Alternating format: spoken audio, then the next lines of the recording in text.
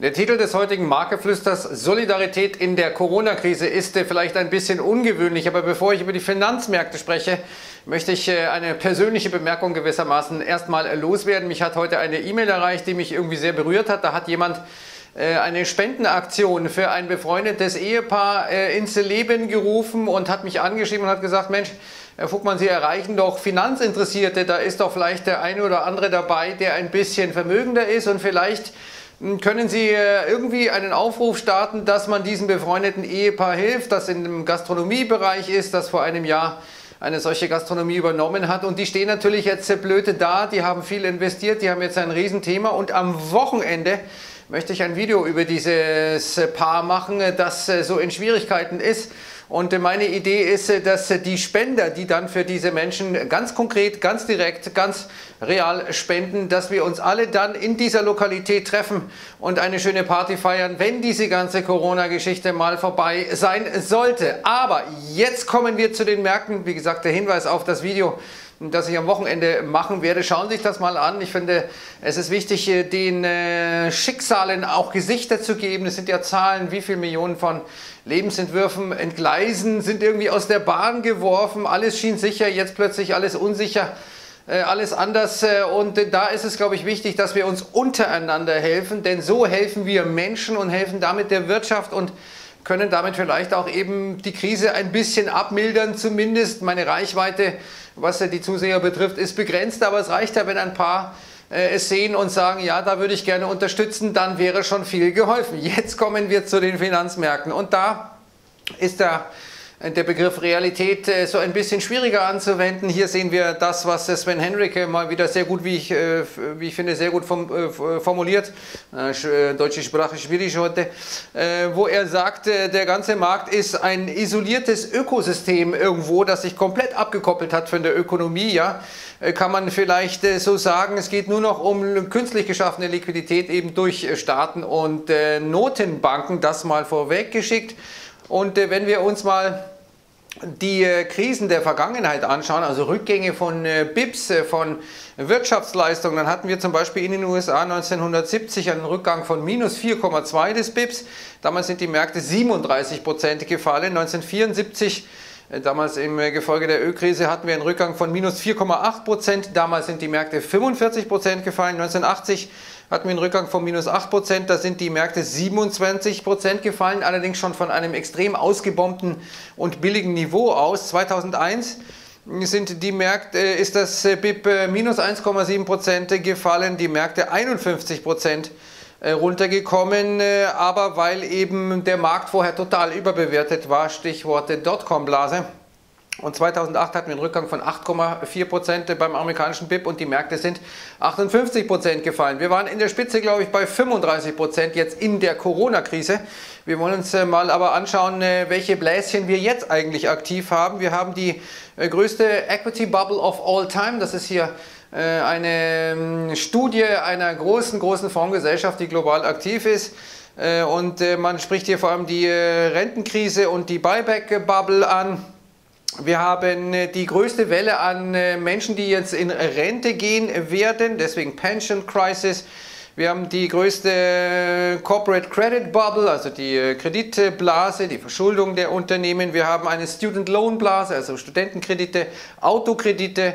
Äh, Indexation Bubble, es gibt ja inzwischen mehr Indizes als Aktien zum Beispiel, weil zum, äh, man eben äh, als ETF-Anbieter immer neue Indizes auflegte, um eben diese Produkte an den Mann zu bringen. Deswegen die ETF Market Structure Bubble. Ähm, wir haben eine Foreign Borrowings Bubble, also dass praktisch der Dollarstandard eigentlich eine Blase ist. Wir haben eine Blase der Geldpolitik, die Zentralbankenblase und wir haben eine EU-Bankenkrise. Ich glaube, all das kann man so formulieren.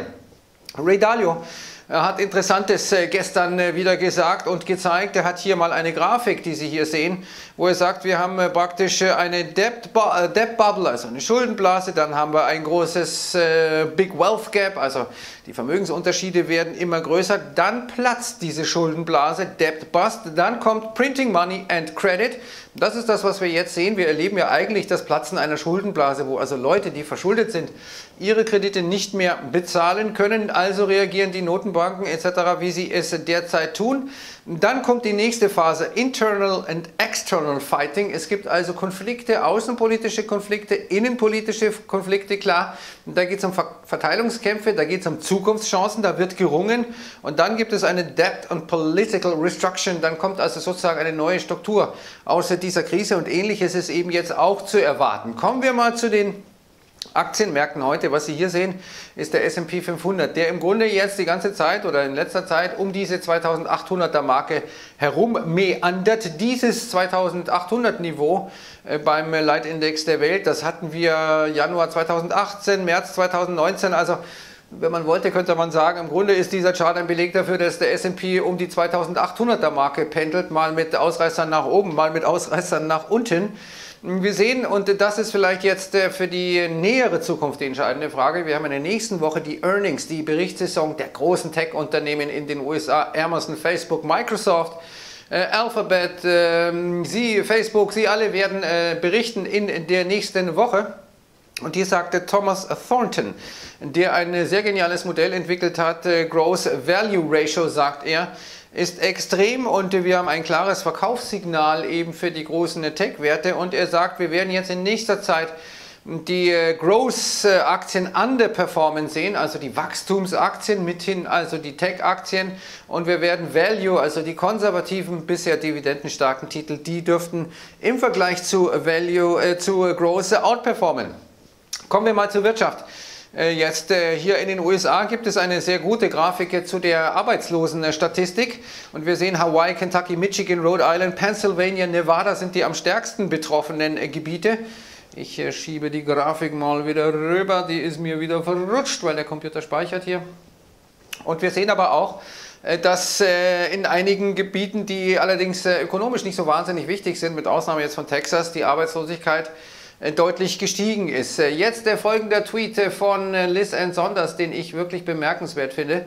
Da sagt sie, wir haben äh, weniger als 3% der US Counties, also das sind Gemeinden, wenn man so will, in den USA, weniger als 3% dieser Gemeinden, die stehen für über die Hälfte des amerikanischen BIPs. Und in diesen wenigen Gemeinden, nämlich diesen wirtschaftsstarken Gemeinden, haben wir 61% der Corona-Fälle in den ganzen USA. Es sind also die wirtschaftsstarken äh, Regionen in den USA, die von dieser Corona-Krise betroffen sind, etwa New York, weil die Leute natürlich dicht aufeinander leben im mittleren Westen wenn der nächste Einwohner zwei Kilometer weit entfernt ist, dann wird man das nicht allzu sehr merken. Also das ist das große Problem, das derzeit ist.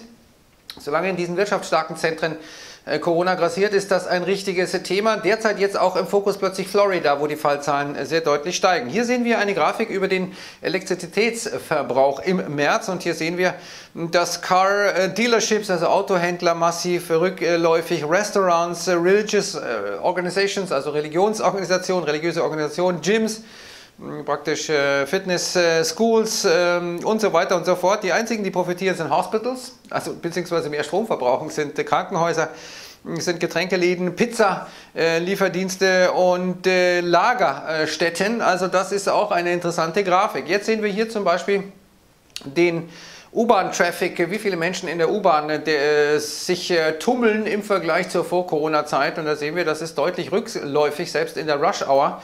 Äh, was äh, überhaupt nicht mehr der Fall ist, ist der Flugverkehr in New York. Und wir sehen und haben heute gesehen die Auftragseingänge langlebiger Wirtschaftsgüter und die sind drastisch gefallen. Das liegt vor allem daran, dass äh, insgesamt viel mehr Flugzeuge, Flugzeugaufträge storniert werden, anstatt neue bestellt werden. Klar, wir haben jetzt hier alleine im März einen Rückgang von 16 Milliarden Dollar an diesen Bestellungen.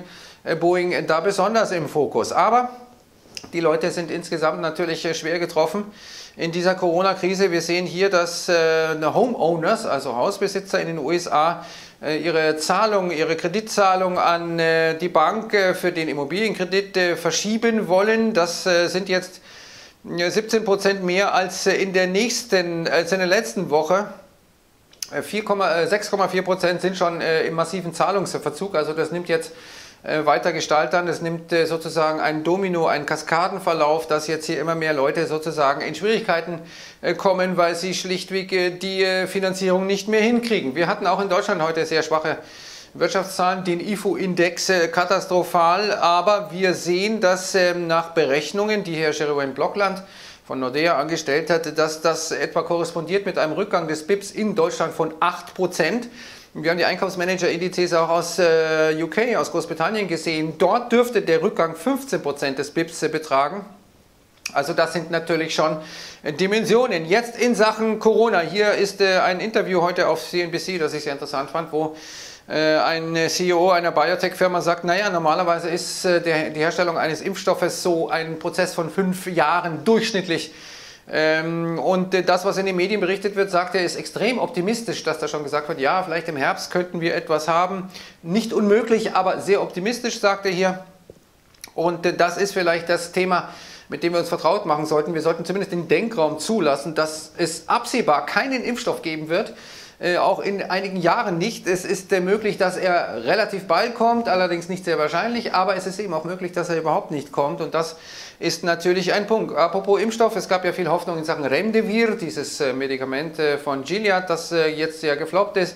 Und wir sehen, dass die FDA, die Medizinzulassungsbehörde, Medikamentzulassungsbehörde in den USA jetzt auch Hydroxychloroquine äh, stark davon abrät, dieses äh, zu nehmen, hat äh, praktisch äh, das äh, untersagt, wenn es irgendwie möglich ist. Und es war Donald Trump, der ja in solchen äh, Tweets und auch bei den Pressekonferenzen eben genau für solche Dinge geworben hatte, die offenkundig schädlich sind. Wir sehen, dass hier sogar einige Leute verstorben sind an der Einnahme, unsachgemäßen Einnahme eben die ähm, hier Erfolg ist. Also das ist natürlich schon eine ziemlich heftige Geschichte. Interessant ist übrigens, wie hier Politico berichtet, dass Trump bei der Bank of China, einer chinesischen Staatsbank, nicht der Notenbank, sondern einer äh, dem äh, Staat China gehörenden Bank 211 Millionen Dollar Schulden hat für ein Immobilienkomplex in New York oder Immobilienkomplexe.